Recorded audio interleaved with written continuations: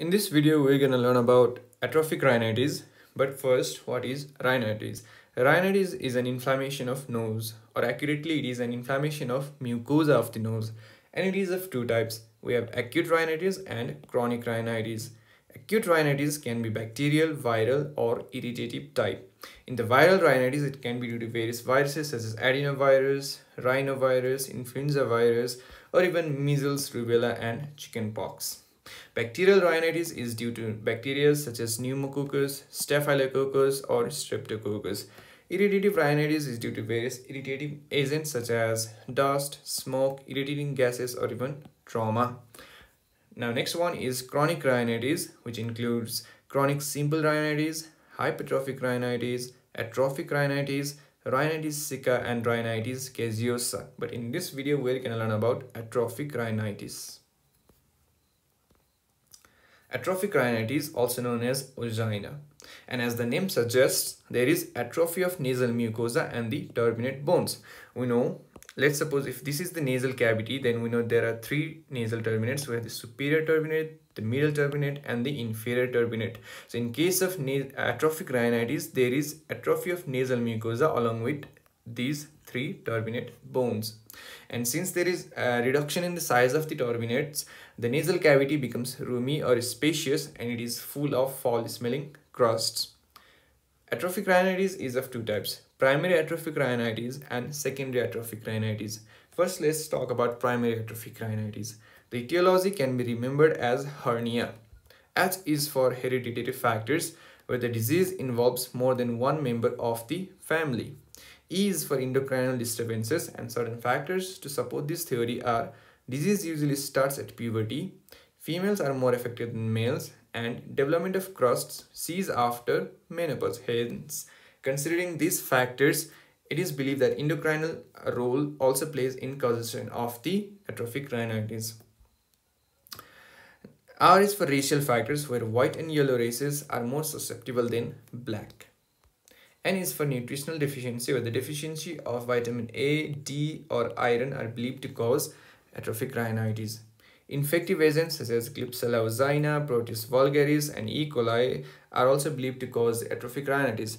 But these organisms uh, are thought to be secondary invaders rather than primary causative agents. Lastly, A is for autoimmune, where the body reacts to antigens from the nasal mucosa, and this antigenicity of the nasal mucosa might be due to various external factors such as viruses, bacteria, or any other allergens.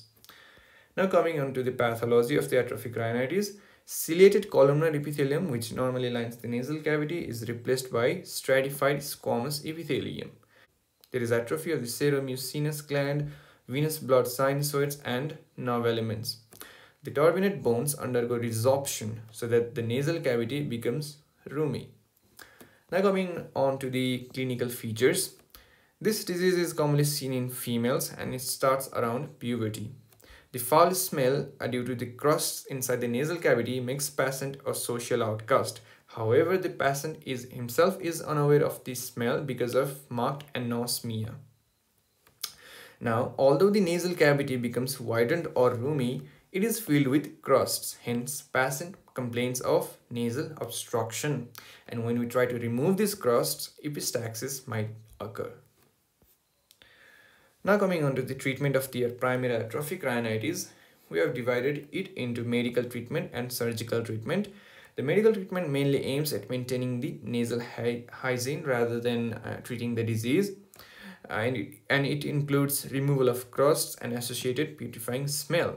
And the methods are nasal irrigation and removal of crusts. The nasal irrigation can be done with warm normal saline or an alkali solution made of sodium bicarbonate, sodium biborate, and sodium chloride. Painting of nasal cavity with 25% glucose in glycerin also inhibits growth of the proteolytic organisms that are responsible for foul smell. Local antibiotics uh, can also be given and the most commonly used is quercetin anti-ozaena solution which consists of chloromycetin, estriol and vitamin D2. Now under the surgical treatment we have Young's operation the, both the nostrils are closed completely just within the nasal vestibule by raising nasal flaps. And uh, they are opened after six months or later. And in these cases mucosa may revert to normal and crusting reduced. The next one is modified Young's operation. Uh, to avoid the discomfort of bilateral nasal obstruction modified Young's operation aims to partially close the nose nostrils it is also claimed to give the same benefit as Young's operation. So in this uh, photo, you can appreciate uh, the Young's operation, uh, operation where the nostrils are completely closed by nasal flaps, whereas in case of uh, modified Young's operation, you can see the nostrils are partially closed. Now lastly, coming on to the secondary atrophic rhinitis, specific infections such as syphilis, lupus, leprosy, and rhinoscleroma may cause destruction of the nasal structures leading to atrophic rhinitis.